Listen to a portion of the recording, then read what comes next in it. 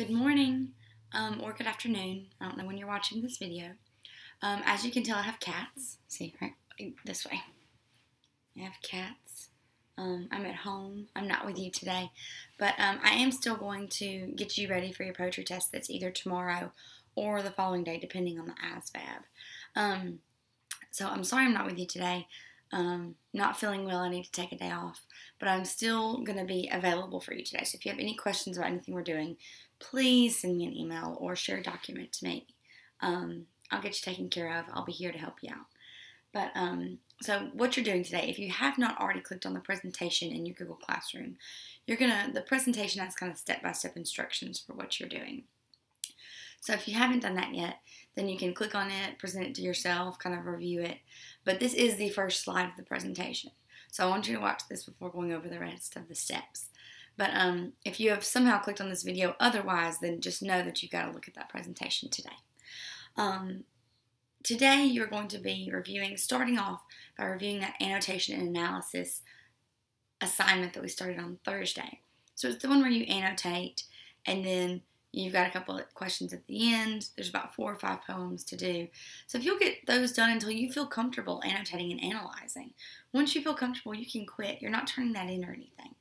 Um, so you can skip that if you want to, but I would suggest you go to it.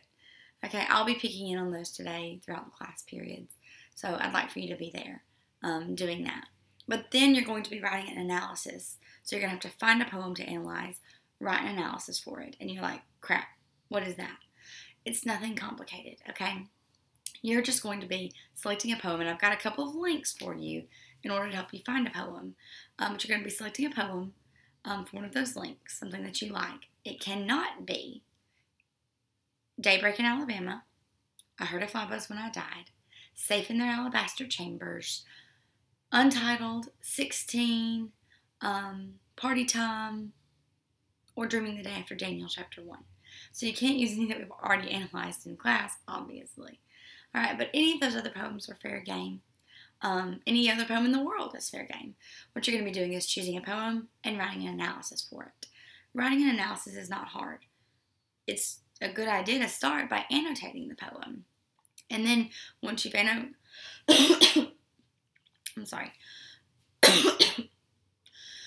Once you've annotated the poem, then you can start asking yourself questions about it, answering those questions, maybe sending me some questions, maybe emailing some questions to a friend. And then you're going to take what you know about the poem. You're going to look at the poetic devices and the literary elements. So I'm going to name them off to you real fast rhyme, rhythm, meter, punctuation, capitalization, endpoints, stanzas, um, anything like that is a poetic element. There are literary devices like repetition, irony, metaphor, alliteration, imagery, I mean, onomatopoeia and hyperbole, personification, any of those things.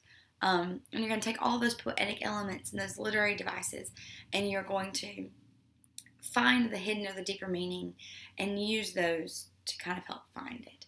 You're going to make the connection between the two. Um, so it's not really that hard. You're just reading a poem, analyzing it, and then writing down what you found. It's not hard, I promise. If you're unsure about what you're doing, just send me an email. It's not it's not that big of a deal. Okay? Then um, but you're gonna hold on to that. You don't turn that in today, but you're gonna hold on to it until the test. Um, if you finish both of those things in about 15, 20 minutes, read, read the rest of the period, or work quietly. Um, today is not a day where you need to talk to your neighbor. Um, Miss Miller is, you know, it's not part of the assignment today. However, if you need to communicate with them, there's always email, okay, um, or a shared document. You can just kind of keep a like conversation going. there's another cat. Okay, but um, so whatever the um, whatever you need to do is fine, but be quiet, please. Thank you. Um, once again, I'm here if you need me. Um, but I hope to see you all soon. And um, I miss you. So have a great day. I'll talk to you later.